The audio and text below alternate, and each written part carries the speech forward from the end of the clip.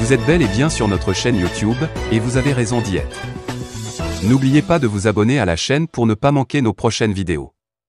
C'est parti.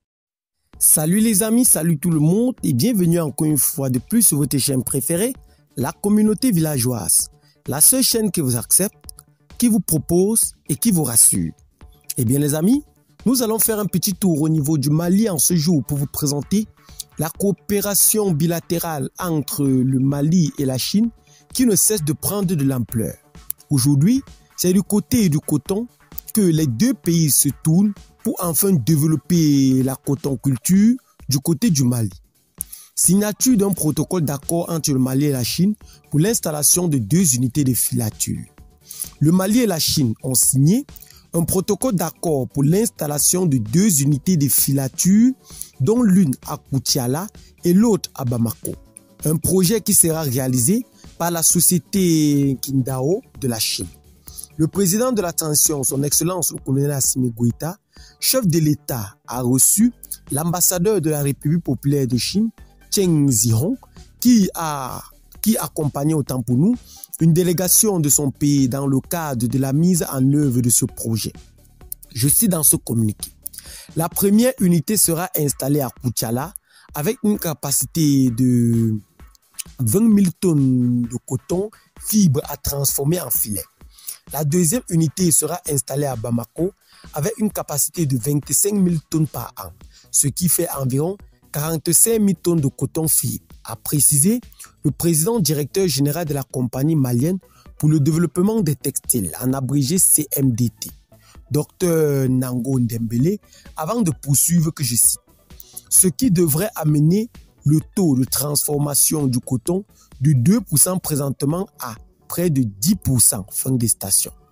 Le niveau de filature capte environ 30% de la valeur ajoutée de l'ensemble de la chaîne de valeur coton. Ce que nous perdons sur la vente de la fibre à la filature, on le récupère en termes de plus-value, en termes de marge bénéficiaire fin des stations, a expliqué le patron de la CMDT qui indique que ce projet d'usine de filature est une bonne proposition technique pour la filière coton du Mali.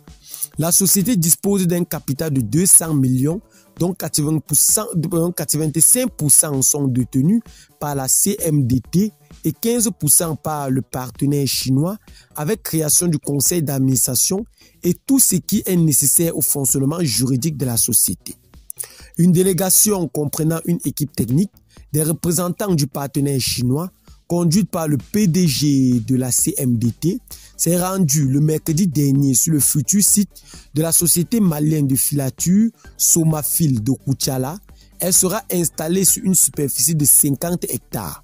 Pour l'unité de Bamako, elle sera installée sur 70 hectares. Ces deux unités créeront 5000 emplois. Reçu en audience ce vendredi, l'ambassadeur de République populaire de Chine, Sen Sihong, a indiqué, je cite, la coopération entre la Chine et le Mali est toujours fructueuse depuis 62 ans d'existence des relations diplomatiques entre nos deux pays. Avec cette délégation, notre coopération sera encore plus renforcée. Avec l'appui du gouvernement malien, l'appui du président de la transition, je suis persuadé que cette coopération sera encore plus renforcée. Fin des stations.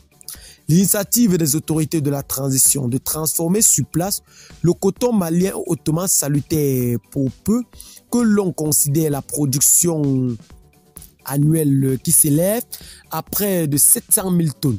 C'est donc dit que la culture du coton a de beaux jours devant elle, car la création de ces deux usines de filature est un grand facteur de stabilisation du prix du coton, sans compter les milliers d'emplois directs et indirects qui seront créés. Eh bien les amis, qu'est-ce que vous en pensez par rapport à cette nouvelle que nous avons décidé de partager avec vous ce soir? Laissez donc vos commentaires. Abonnez-vous à la chaîne si ce n'est pas encore fait. Partagez la vidéo avec les amis si vous l'avez trouvé intéressante et à très bientôt pour de nouvelles vidéos. Bye bye.